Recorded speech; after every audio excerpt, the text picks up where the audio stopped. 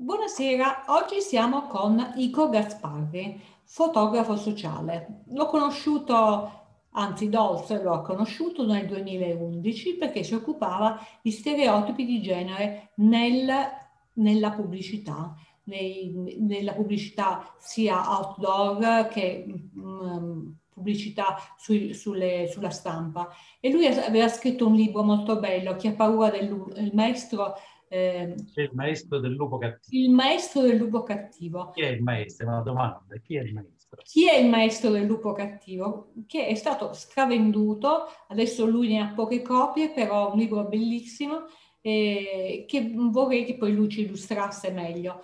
Eh, e adesso cosa fai? Ci, ci, sta parlando da Napoli, perché lui è napoletano, eh, anche se è vissuto a lungo a, a Milano dove aveva un bellissimo studio e dove faceva dei workshop, eh, eh dove eh, ospitava giovani leve che volevano imparare a, a fotografare, eh, fotografare in modo giusto. Eh, quando ancora non c'erano solamente eh, le fotografie fatte con le, le, le telecamere del, del cellulare.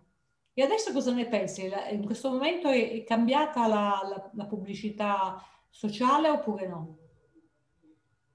Allora, buonasera a tutti quelli che ci ascolteranno, a tutte le amiche e gli amici che seguiranno questo, questa nostra chiacchierata. Mi, mi, fa molto piacere che tu mi hai chiesto di discutere un po' insieme perché è una cosa che si fa sempre meno ma non per, non per l'epidemia, è perché ci, ci, parliamo sempre, sempre, sempre di meno.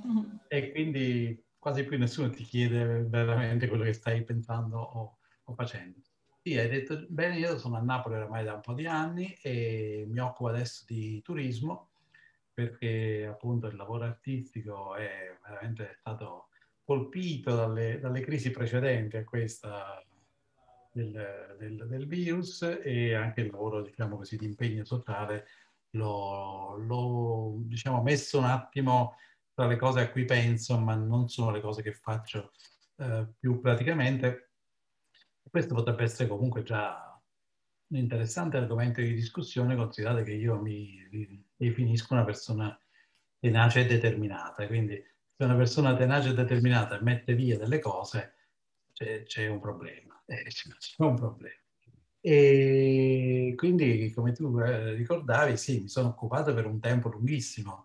Eh, adesso sono già eh, passati i 30 anni dall'inizio del mio lavoro, che è cominciato nel luglio del 1990, quindi stiamo parlando di epoche perché per alcuni sono conosciute, per tutti i giovani di oggi non, fanno fatica, mi accorgo a volte parlando con i ragazzi più giovani, e immaginate cosa fosse il mondo all'epoca cioè uno dice la parola sessista, non c'era per esempio, cioè quando io ho cominciato a fare questo lavoro non c'era la parola sessista in italiano per niente, eh, ma non si usava neanche dirla questa cosa in questi termini. Io parlavo di violenza già dall'epoca, devo dire ho sempre scelto questa strada, di parlare di educazione alla violenza.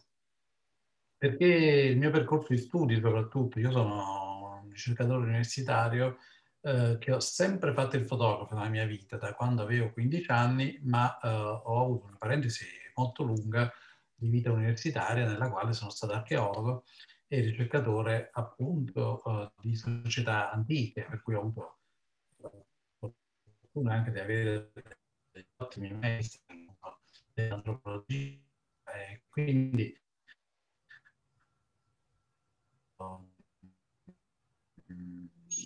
soprattutto le, uh, il mondo della decodifica delle immagini. No, ecco, diciamo, ci tengo a dire queste cose un po' collaterali, perché quando una persona scende per strada, come facevo io, e fa delle fotografie ai cartelloni pubblicitari, eh, può sembrare che è uno che fa la collezione di figurine, no? Dice, mm-hmm. ne ho fotografato uno, due, dieci, ne fotografo 3.000, ecco, sono bravo.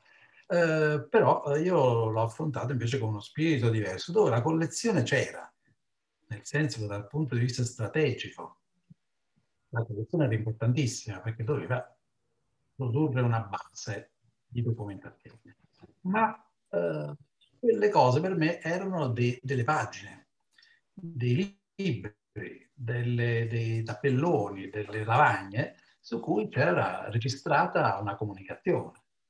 Sì, avevo imparato, grazie ai miei studi, eh, a decodificare delle pitture di una tomba etrusca o una scultura sopra un frontone di un tempio, dove ci sono centinaia e centinaia di simboli nascosti, noi meno evidenti, agli antichi più evidenti, è chiaro che davanti a un cartellone pubblicitario la strada è anche più facile, nel senso che sono concetti a noi moderni eh, usuali, sono linguaggi che noi capiamo meglio e quindi per me non è stato tanto difficile. La cosa difficile leggendo quelle scene, queste migliaia di cartelloni fotografici eh, pubblicitari che ho fotografato per strada, è stato piuttosto convincere, le, sembra strano, detto adesso, convincere le persone che dentro quei manifesti ci fossero delle comunicazioni. Un percorso molto complesso questo, più complesso il mio rapporto con il pubblico che non il mio rapporto con l'oggetto, l'oggetto cartellone pubblicitario. L'oggetto cartellone pubblicitario è una cosa stupida, stava là, bisognava solo decidere se avevamo voglia di leggerlo o meno. Quello che invece è stato molto complesso in questi anni ha portato a volte anche a dei riscontri significativi, a volte anche fastidiosi, con, persone, alcune persone, una minoranza, comunque una minoranza significativa, e era convincere le persone a dichiarare, a riconoscere che quella roba fosse una comunicazione. Oggi sembra banale, ma nel 1990, all'inizio del 1990, quindi all'inizio degli anni 90, e se li vogliamo chiamare in un altro modo, erano la fine degli anni 80, e questo si carica per noi che li abbiamo vissuti di significati potentissimi, le persone non erano disposte, con il vento che soffiava all'epoca, a indagare su cose che fossero complicate. No? Ti ricordi, all'epoca noi eravamo per le cose semplici, no? Bisognava fare gli aperitivi, bisognava mangiare al bar, bisognava eh, sorvolare, bisognava diventare ricchi a tutti i costi, bisognava essere belli a tutti i costi, bisognava depilarsi, bisognava fare delle cose che prima non si facevano. Eh, quando io dico a mia figlia che le mie coetanee, la sua età, avevano i peli sotto le ascelle, lei inorridisce Pensa che paradigma, è cambiato il paradigma, no? Cioè, prima non si faceva, adesso non si può non fare. Quindi alla fine degli anni 80 ci troviamo in un mondo assoggettato moltissimo a questi poteri rampanti, a questi poteri forti, dei quali la pubblicità era un megafono importantissimo, perché, come tutti sappiamo, invita al consumo, spesso invita al consumo di cose inutili, qualche volta, ma questo non, non, è, mio, non, è, il mio, scopo, è anche mendace, cioè ti racconta delle cose che non sono così, ma lasciamo perdere. E quindi riconoscere che quelle cose che si vedevano erano il frutto degli anni Ottanta, della nuova società che si imponeva, le donne dovevano essere belle, performanti, magre, con la pelle liscia, il sorriso, i capelli meravigliosi, le unghie bellissime, tutte bellissime, elegantissime, eccetera, eccetera, era proprio il risultato. Di... Quindi le persone con le quali io parlavo, che magari inconsciamente o consciamente avevano preso a modello quest'epoca, eh, non ce l'avevano voglia. Non ce l'avevano voglia, ma non, non in cattiva fede, molte non ce l'avevano voglia per dolore, ovviamente, perché qualcuno fastidioso, per di più la cosa molto più fastidiosa che fosse un uomo, un maschio, eh, li invitava, e invitava soprattutto le donne a riflettere su queste cose, poi anche parlare su perché, eh, a, a, riflettere su delle strade che forse avevano intrapreso. A, a guardarsi, ecco, guardarsi intorno sulla strada che avevano intrapreso, ma che avevamo intrapreso francamente, onestamente, possiamo dire, tutta la popolazione, tutto il mondo aveva assunto questa, questa direzione, le voci di dissenso. È possibile che siano passati solo vent'anni? Eh, non tanti. 31. Ah, con i tempi che corrono, 31 anni sono... Ah, giusto. Eh, 31 anni di oggi come oggi. Andavo, io andavo in giro con una macchina fotografica, con una pellicola grande così, eh, non solo nei sistemi di telefonini, ma non c'erano neanche le macchine digitali. Cioè, stiamo parlando di un mondo che oggi sembra antico. Per me fare le fotografie significa sembra prendere... spendere un sacco di soldi perché facevo delle fotografie professionali, che era il mio lavoro, spendevo soldi eh, molti per le pellicole, per le stampe, eccetera, eccetera. Quindi non è come oggi che esci con la macchina fotografica e apparentemente non stai spendendo niente, addirittura, beh, addirittura col telefonino, quindi veramente non spendi niente. Eh, quindi capii, essendo stato sempre io un attivista, un militante sociale, eh, capii che quella roba lì andava raccontata. Per qualcuno doveva fare il lavoro sporco, come dicono nei film americani. Qualcuno doveva fare il lavoro sporco e dice, bene, voi mettete questa roba, la gente fa finta che non la vede, e io ma vi faccio il servizio, ve le, ve le conservo. E a beneficio di tutti quelli che non hanno studiato questo mondo, ma è un'esperienza, se ci pensate, evidentissima, le pubblicità sono cadute, durano 15 giorni. Quindi questo è un effetto straordinario, nel senso ogni 15 giorni, ma quindi anche tutti i giorni, se consideriamo i tanti cartelloni, ci vengono rinnovati questi, questi messaggi certo. e non ce ne accorgiamo. Come se ci vedesse una piccola siringa ogni 15 giorni, ma noi non ce ne accorgiamo e questa roba pazza, pazza, pazza, pazza, per cui in un anno ne vediamo milioni di immagini. Eh, dal punto di vista pratico, strategico, eh, decisi di occuparmi scientificamente, cioè di occuparmi bene, soltanto della pubblicità stradale. Quindi perché? Perché la pubblicità televisiva non che fosse migliore, ma c'erano sostanziali dif- differenze che in un seminario approfondito potremmo studiare, ma eh, la pubblicità televisiva era complicata da documentare. Ho dovuto mettere lì una moviola, un illustratore, non avevo i mezzi, non avevo il tempo e soprattutto non mi interessava. Mentre mi interessava raccontare quella cosa che succedeva davanti agli occhi di tutti. Questo io lo, lo, lo, è una frase che, che mi, mi, annoia a ripetere, ma la ripeto perché è efficace. La pubblicità stradale è l'unico mezzo di informazione obbligatoria che esista al mondo. Non ce n'è un altro. Sfidato in questi 30 anni qualcuno a dirmi quale fosse un altro mezzo di comunicazione obbligatorio e nessuno me l'ha saputo dire. La pubblicità stradale è l'unico mezzo di informazione obbligatoria. Quindi, i giornali scrivono cose mendaci, sì, ma il giornale puoi non comprarlo puoi comprarne uno che dice meno bugie, oppure puoi decidere di non leggerli proprio. Il cartellone stradale... puoi non accenderlo. Ecco, ti immagini sulla banchina della metropolitana che decidi di non guardare la pubblicità fissa al muro. È impossibile, rischi di camminare con gli occhi chiusi e finire sotto al treno. Quindi eh, quando sale una scala mobile, quando cammini in macchina, quando studiandole bene le mettono di tale curve, per cui tu fai una bella curva, arrivi là un boom, fai anche un incidente a volte ho conosciuto persone che sono distratte e hanno fatto un incidente perché si sono trovati di fronte magari un sedere di 18 metri quadrati e quindi eh, stupiti dal, dal fatto, eccetera. Per cui eh, strategicamente scelsi la pubblicità stradale perché era facile da raccontare, era facile da continuare, era facile da. La città, fotine e raccolsi il più grande archivio del mondo su questo fenomeno, cioè la città e la sua pubblicità. Quindi mi interessava anche questo aspetto antropologico, cioè di raccontare cosa fosse questo elemento nella città, sapendo che stavamo anche parlando, e qui entra in gioco dal mio punto politico, stavamo anche parlando di uno spazio pubblico dato in concessione a persone private per trasmettere un messaggio che era per tutti.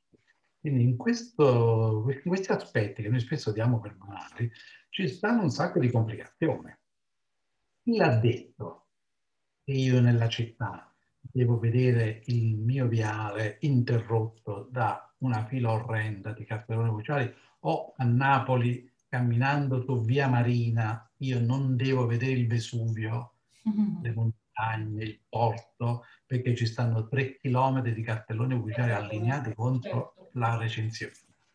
Quindi questa è vero, come è stato dichiarato, che il panorama è un bene culturale, io ho sempre rivendicato anche questo aspetto, cioè lasciateci il nostro panorama. Alcuni soggetti ai poteri forti, pur, cioè senza farsi domande, dicono sempre, eh, ma la pubblicità fa guadagnare dei soldi. E qui fermiamoci, perché non è vero che i comuni guadagnano queste grandi cifre, e soprattutto, ammesso pure che sia vero, bene, discutiamo se i soldi sono il prezzo giusto da pagare per un danno così grave, un danno San Paolo del Brasile, i cartelloni pubblicità sono vietati, ci sono, semplicemente. O se camminate nella campagna francese in macchina, mi sembra di stare in uno spazio insolito. Cosa c'è di differente la campagna francese? Che non ci sono i manifesti pubblicitari. Stanno rarissimi qua e là, non come qui che tu cammini, boom, boom, boom, boom, boom, sei bombardato. Ecco, diciamo, questo è un po' l'inquadramento. Quindi motivo, strategia e... Eh,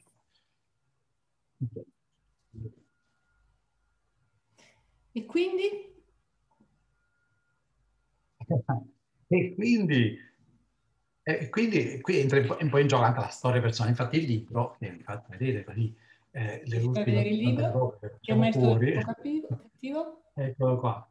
E questo libro ha due sezioni ed è diviso più o meno a metà e metà. E c'è una parte che si chiama diario e una parte che si chiama analisi. Oh, analisi è la parte più semplice, cioè la parte nella quale analizzo i cartelloni, 311 cartelloni pubblicitari che ho preso a campione per raccontarne i contenuti.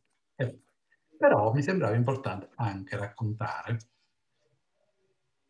la mia storia dentro questa storia, nel senso che cosa succedeva a me che andavo in giro a fare questo lavoro. Per questa persona che, senza che nessuno gliel'abbia chiesto, stando per molti anni all'inizio anche per un maniaco sessuale, perché noi oggi certe cose sembrano banali, ma quando io stavo sotto un cartellone pubblicitario con una grande macchina fotografica, davanti a me magari per un sedere grande 6 metri per 3 o 3 metri per 3, insomma un grandissimo sedere, delle, dei seni giganteschi così, e uno passava da là e mi vedeva sotto questo cartellone pubblicitario con la macchina in mano. Ma guarda questo che cammina, ok? Brava, brava andava a destra, a sinistra, saliva, scendevo, mi muovevo, facevo, andavo più lontano, più vicino.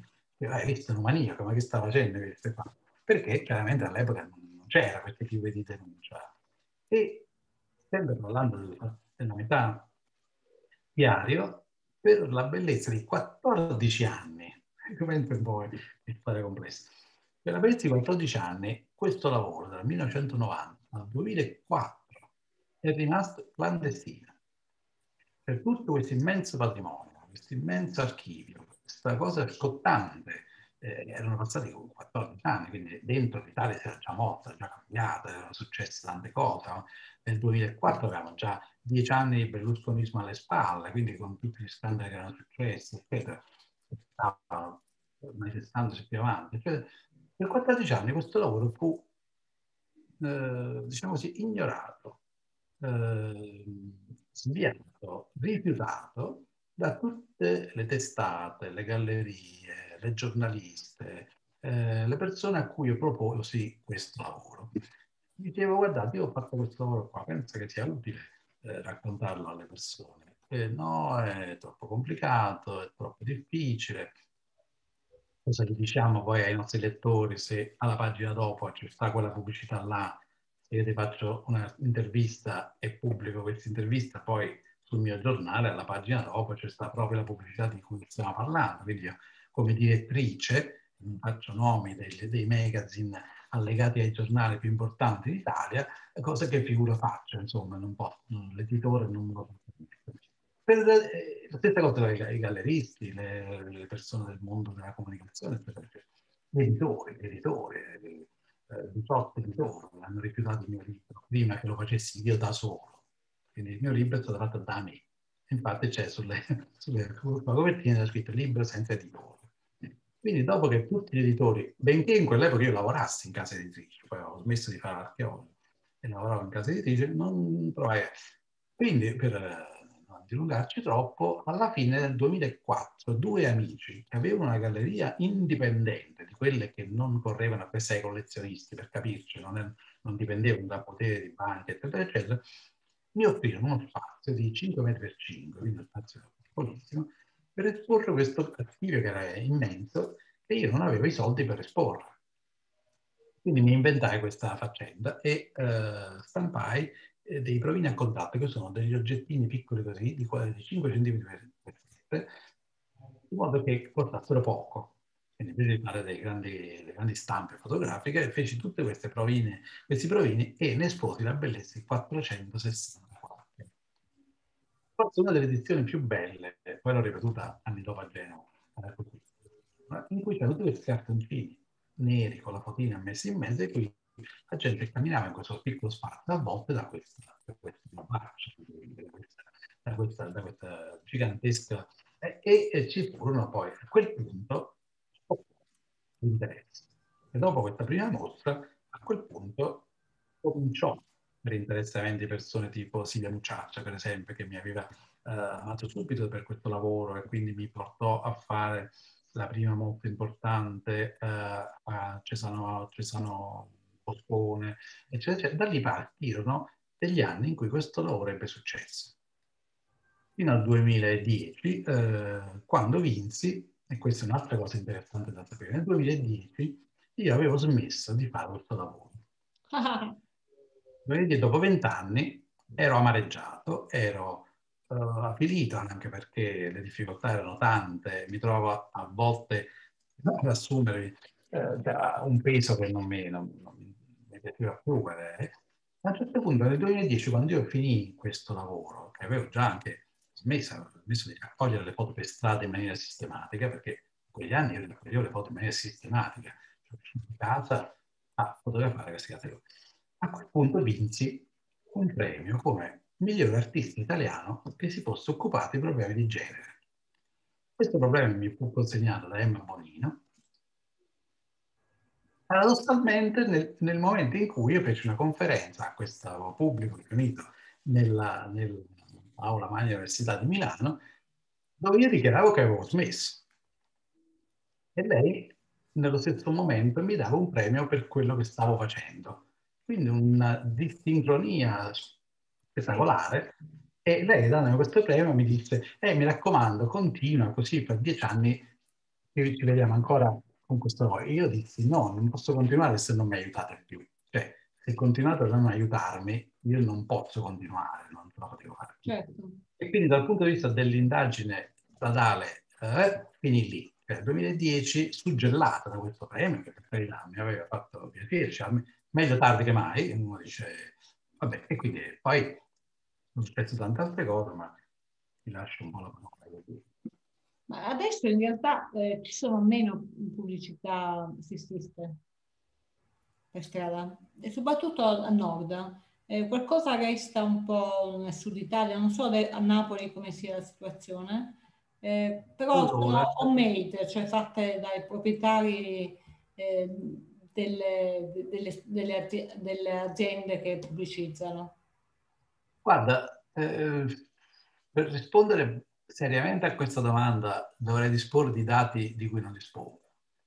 Nel senso che dire che oggi ci sono meno pubblicità stradali, allora, innanzitutto adesso siamo in periodo di crisi, di lungo periodo, e quindi c'è un grosso problema di azione pubblicitaria da anni.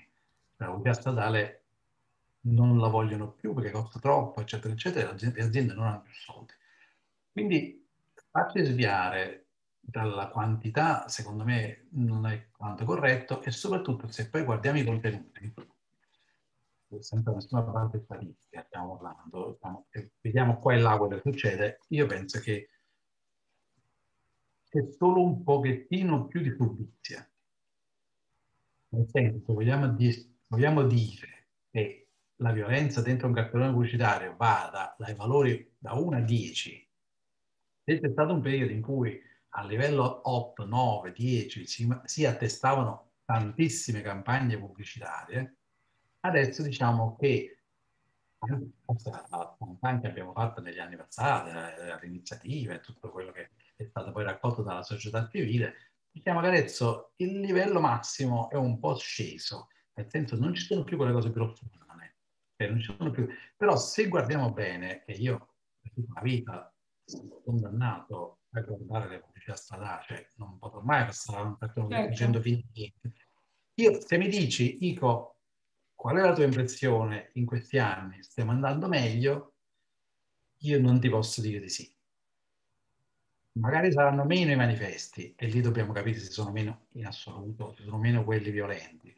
Ma secondo me quelli che ci sono contengono molto, molto spesso una dose paragonabile a quelle di prima di violenza, di sessismo, di, di eguaglianza, eccetera, eccetera. Non mi pare una situazione risolta. Continua a guardare quelli che sono per televisione, le scene accadono. Eh, sapendo che la società, e questo poi è un altro te- tema gigantesco che esula un po' dal, esula ma neanche tanto da questo, da questo lavoro, che bisogna chiedersi perché ci stanno ancora queste pubblicità, diciamo, parallelamente al fatto che vediamo un tema che mi affascina moltissimo, eh, vediamo come invece la società si sia spostata. In gioco il tema dei maschi, eh, la società è spostata, quando dico entra in gioco il tema dei maschi, non voglio dire che i maschi siano migliorati, no, no. Entra in gioco il tema dei maschi e io dico che fine faremo. Mi interessa di questa cosa, è un argomento che ha a che vedere con quello che ci siamo detti finora, ma un po' collaterale, nel senso dice, ma perché ci sono... Perché io sto per dirti che la, la, la mia sensazione, la mia, la mia, idea, su cui ho scritto un articolo un po' di anni fa, che si chiamava eh, Vent'anni dopo la rivoluzione è finita. Mm-hmm. Di, che rivoluzione, di che rivoluzione parlava? Della rivoluzione femminista. La rivoluzione femminista è finita perché ha vinto. Eh, com'è possibile? Allora la rivoluzione femminista come la, come la leggo io? Poi chiaramente, essendo io un maschio, di solito vengo esautorato dalla facoltà di parlare di temi femministi, perché in Italia non esistono i maschi femministi, quindi... Mm-hmm. No, non è vero, eh? gli amici di Dozzi ne sono parecchi. Sì, sì, sì, ma è una A categoria... dicono di esserlo, eh? Una, ma non lo so, questo poi certamente ognuno deve prendersi la propria parte di responsabilità, ma non è l'autocertificazione che parlavo e scrissi questo articolo un po' di anni fa sulla rivoluzione finita perché in effetti il potere femminile è uscito finalmente dalla, dal sott'acqua, diciamo così, e si sta affermando in maniera planetaria. Eh, non lo vediamo ancora bene. Non lo vediamo ancora bene perché i segni non sono ancora eh, tutti così evidenti. Io sono un, uno studioso appassionato dei sistemi in via di formazione No? Perciò il mio lavoro si chiama Chi è il maestro del lupo cattivo? Il maestro rappresenta una didattica, una idea, una crescita, quindi una formazione. E quella roba lì era un processo in via di formazione. Come si arriva a un mondo più violento? Con l'educazione a violenza, eccetera. E eh, tornando al discorso della rivoluzione finita, ehm, questa che a mio parere è stata la più importante rivoluzione che c'è dei tempi moderni, la andiamo a vedere dove? Nei, nei luoghi del futuro potere. Facoltà di medicina, facoltà di ingegneria, facoltà di giurisprudenza. No, chi ci sta oggi in queste facoltà? Quanta gente, alla nostra età, quanta gente stava seduta genere femminile in una facoltà di medicina? Io ho fatto medicina nel 1977, nella mia vita ho fatto anche un po' di studi di medicina. 1977 su 2500 iscritti a mia facoltà di medicina di donne, non me le ricordo neanche, ce ne sono state 10. Adesso prova a entrare nella facoltà di medicina.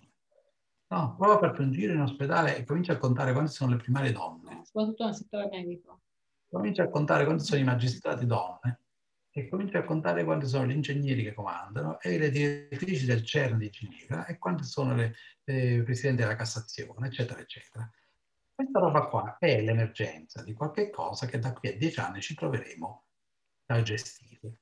E noi maschi non ci stiamo interrogando su questo. Che fine faremo quando il potere non Questo è un lascito antropologico straordinario, nel senso che le donne stesse hanno paura, probabilmente, un brivido, perché quando poi c'è lo scettro in mano e comandano, cioè, è bello dire mi hai messo sotto, poi verrà il giorno in cui io sto sopra e quando sto sopra a questo punto devo comandare io perché sto sopra.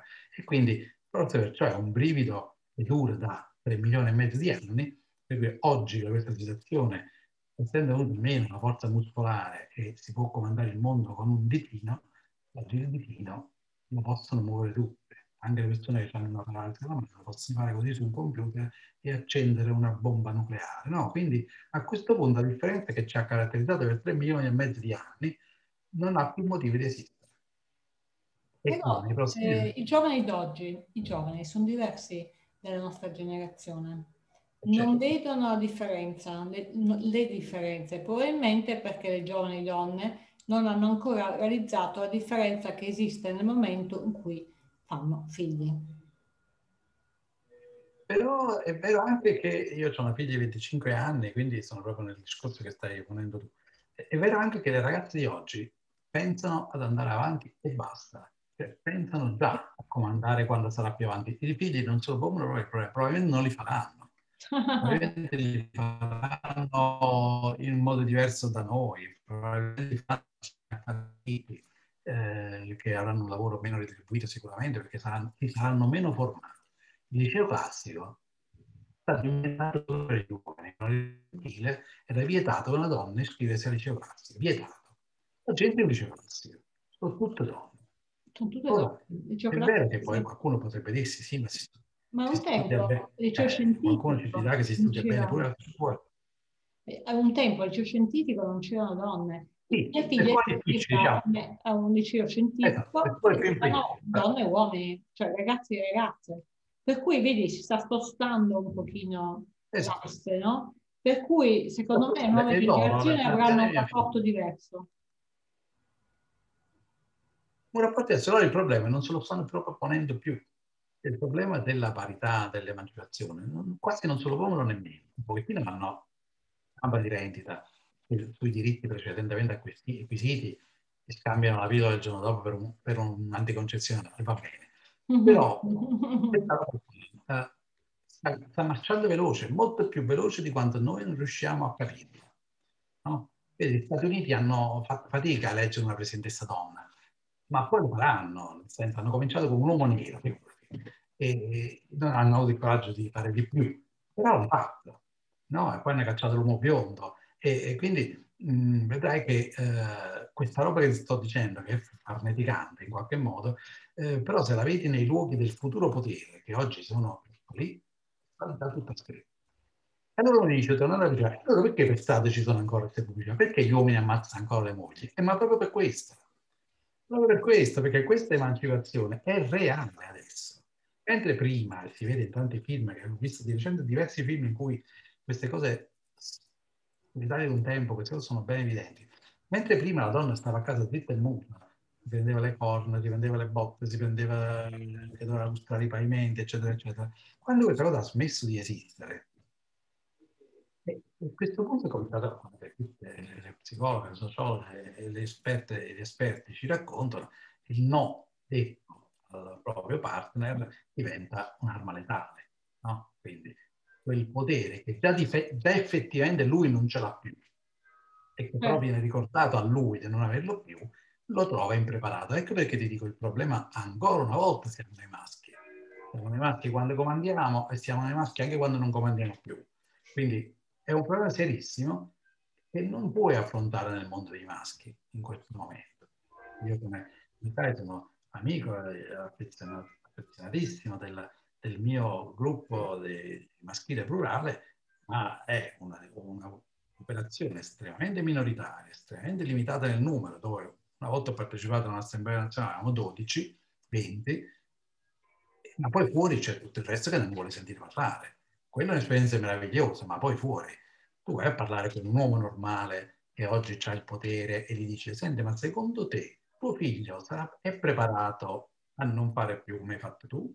Non te lo vuole dire, non, non siamo pronti. E vabbè, questo sappiamo che è un tema sicuramente all'ordine del giorno nei prossimi vent'anni Ah, va bene, non ci saremo più forse. Ma non lo sappiamo, non chi sa.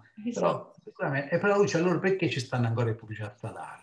Proprio per questo, proprio per questo secondo me, per un colpo di coda, cioè dice, alla ci, ci proviamo finché questa mela marcia continua a funzionare, cioè finché questo linguaggio può trovare anche tre persone, che spesso sono anche donne, eh, donne e uomini, insomma, nel mondo del consumo sappiamo che comunque ha una prevalenza di indirizzo femminile, ma comunque eh, a parte questo, questo dettaglio, il dettaglio non è, ma eh, è un colpo di quota, come per dire, eh, state rubando il potere, adesso vediamo le ultime botte, e le ultime botte a volte sono mortali, questi uomini che uccidono queste donne, anche ieri, l'altro ieri, 3, 4, 2, eh, tutti i giorni. E che le storie sono tutte uguali. Io, eh, è ossessivamente... Gelosia, gelosia. Come fanno i giornalisti ogni volta a scrivere dei pezzi diversi, perché le storie sono tutte uguali. E lei lo lascia e lui la uccide, lo lascia e lo uccide, lo lascia e lo uccide.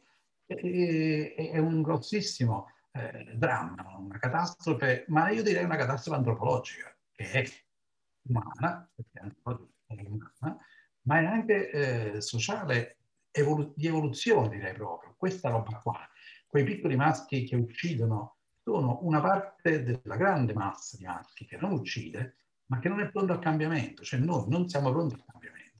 E quindi c'erano ancora le battute, c'erano ancora le discriminazioni, eh, cerchiamo di vedere due ragazzi gay, ma non riusciamo a tollerare due ragazze lesbiche, cioè ci sono tanti aspetti ancora da, da, discutere e la pubblicità oggi ancora strascica delle cose del genere, ancora ci fa vedere delle scene, poi ogni tanto ci mettono il maschio che cucina a casa, che prepara la pasta, così ogni tanto mi metto perché dopo tanti anni che abbiamo rotto il scatole. Eh, certo, certo, non può continuare Vabbè, non mettiamo più la moglie, però ancora vedi le donne belle, le donne che adesso sono performanti, eccetera, eccetera. Le donne una televisione continuiamo a vedere ancora eserciti di donne che fanno le stupide per mestiere, nel senso che non le conosco nella loro vita privata e quindi non mi posso permettere, ma che interpretano le ruoli da stupida, no? Mi dice, ma una, una cosa che mi è piaciuta è Filippa che sta seduta davanti a Fabio Fazio,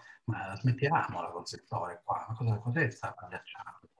Perché questa donna si presta a fare la minus Benz di fronte al maschio dominatore, non va bene, perché anche se dici essere democratico, queste cose a me non piacciono. Vabbè, quindi insomma, i cartoni pubblicitari, come vedi, sono, ecco, quello che io dico, sono lo specchio della società. Società. Quindi, prima parlavano alla pancia, adesso danno colpi di coda, ma il linguaggio è quello. Senti, ti ringrazio, hai, hai fatto una lunga, abbiamo fatto una lunga conversazione molto bella. Troppo lunga. So che tornerai ehm, con noi quando parleremo di questi argomenti in Donna in Dialogo, cosa che succederà ehm, molto presto. E ti, ti, ti mando un grande, un grande, bacione perché dato, dato che per, per, per, computer i baci si possono ancora dare. Ah, finalmente. E, spero di vederti presto. Grazie mille. Grazie, grazie per l'attenzione. Ciao, ciao. Ciao, grazie. Ciao.